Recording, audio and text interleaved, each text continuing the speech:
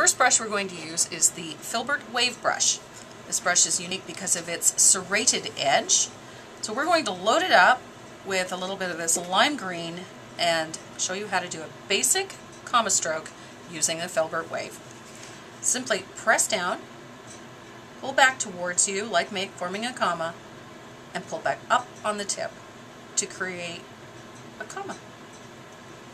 I'm not getting enough of a snap here. There we go. Down, pull back, lift up. Press down, pull back, lift up. Comma stroke with a filbert wave.